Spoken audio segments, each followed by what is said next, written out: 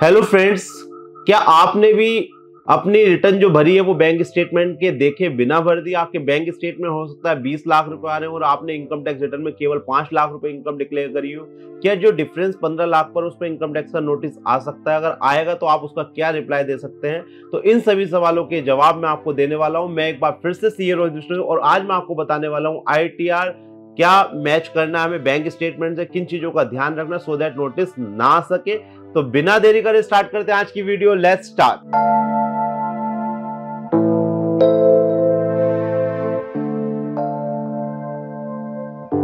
Friends एक बहुत ही interesting case मैं आपसे डिस्कस कर रहा हूँ. आइए मोस्ट ऑफ़ द केसेस में जो एम्प्लॉयज़ होते हैं या जो रेगुलर बुक्स मेंटेन नहीं करते, उस केसेस में ये वाले केस एप्लीकेबल होते हैं और इनकम टैक्स का आने वाले आठ सालों में इस चीज़ का नोटिस आ सकता है. देखिए, पहले आप समझ लीजिए थोड़ा सा. इस केस में क्या है बैंक स्टेटमेंट में जो ट्रांजेक्शन है वो तेरह लाख रुपए की है और हमने अपनी इनकम जो शो करी है वो पाँच लाख रुपए शो करी है। एक बार मैं बैंक स्टेटमेंट को डिस्कस कर लेता हूँ आपसे। देखिए ओपनिंग बैलेंस एक लाख रुपए, पचास हज़ार रुपये हमारी सैलरी आई कैश डिपॉजिट एक लाख रुपए करा छः लाख रुपए हमारे पास किसी ने ट्रांसफ़र करे, साढ़े चार लाख रुपए फिर सैलरी आई और फिर कैश डिपॉजिट हुआ एक लाख रुपए। इट मीन जो सैलरी हमारे पास आई है साढ़े चार लाख और पचास हज़ार रुपये। इन पाँच लाख रुपए को तो हमने अपनी आईटीआर में शो कर दिया है। शो कर दिया है। बट जो ये छह लाख रुपए आए, एक लाख रुपए हमने कैश डिपॉजिट करा, दो लाख रुपए कैश डिपॉजिट हमने कितने करे हैं? दो लाख रुपए और हमारे पास ट्रांसफ़र से कितने आए? छह लाख रुपए तो कल को आपसे इनकम टैक्स केवल ये कहेगा, भाई, आपकी क्रेडिट साइड में तेरह लाख रुपए पड़े हुए आपने पाँच लाख रुपए इनकम दिखाई है, बाकी के जो आपके पैसे उस पर मैं टैक्स क्यों ना लगाऊँ? तो आप उस रिप्लाई में क्या रिप्लाई देंगे? क्या डॉक्यूमेंट्स आपको रखने पड़ेंगे सो so दैट कि आपकी जो रिमेनिंग इनकम उस पर टैक्स इंटरेस्ट पेनल्टी ना लगे? तो यहाँ से स्टार्ट होता है।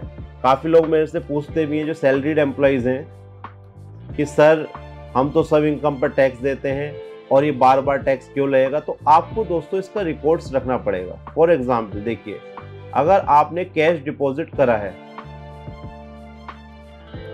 आपकी सैलरी की इनकम है तो आपके पास कैश का आने का कोई मतलब नहीं है। बट कैश कहाँ से आ सकता है, वो मैं आपको बताता हूँ रीजन आपको क्या रखने हैं। फॉर एग्ज़ाम्पल आपने लास्ट ईयर तीन लाख रुपए विड्रॉल करे थे किसी काम के लिए। बट वो उस काम में वो पैसे यूज़ नहीं हो पाए। तो आप एक रिप्लाई ये दे सकते हैं कि हमने पहले ये विड्रॉल करे थे। वो हमारे पास पैसे यूज़ नहीं कर पाए तो हमने वो दोबारा यूज़ करे।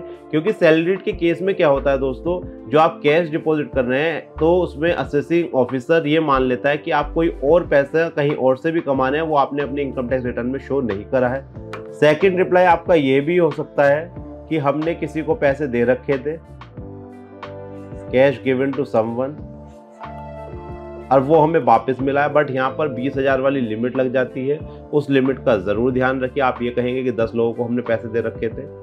थर्ड, जो ट्रांसफ़र वाली चीज़ बताई कि आपके पास कहीं से ट्रांसफ़र आते हैं, फॉर एग्ज़ाम्पल छः लाख रुपए आपके पास ट्रांसफ़र आए हैं तो ये किस चीज़ से आए हैं? तो आप दिखा सकते हैं कि लोन एंड एडवांस आपने लिया है या पहले दे रखा था।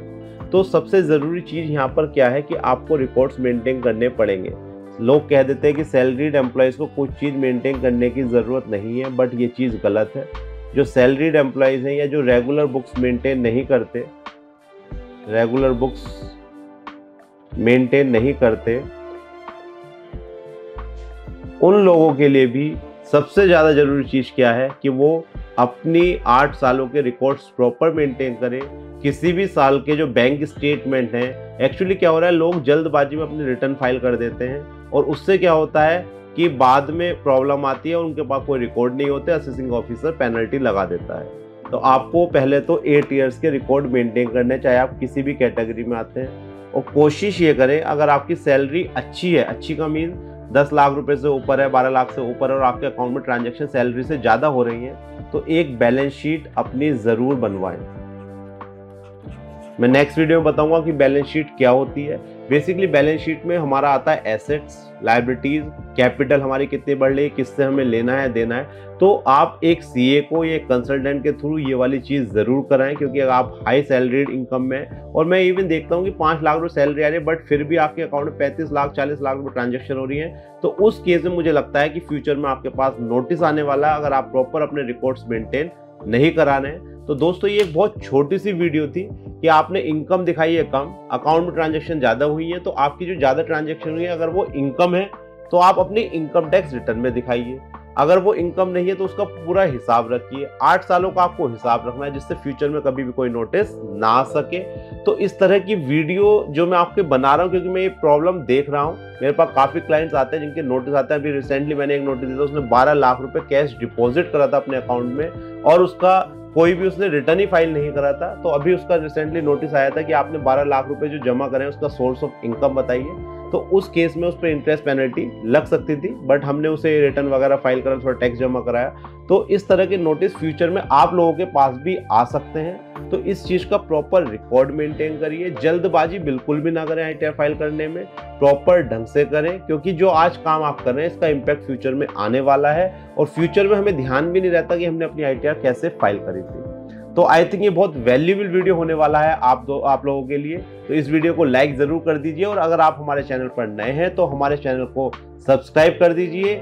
और thank you for watching this video हम मिलेंगे नेक्स्ट वीडियो में। बाय नमस्कार, धन्यवाद।